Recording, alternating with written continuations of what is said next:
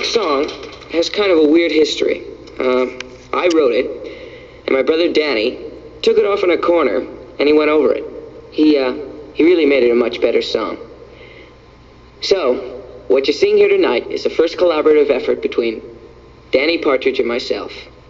It, uh, it wasn't the easiest collaboration in the world, but uh, here it is.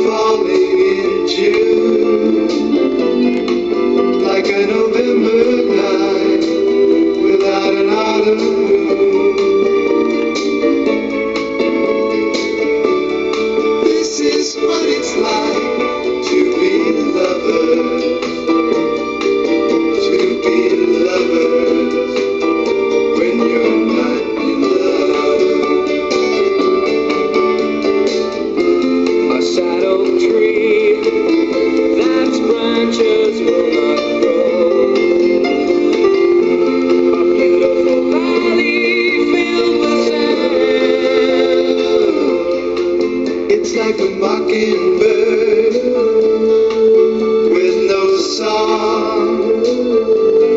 Try to imagine the sun sleeping through dawn.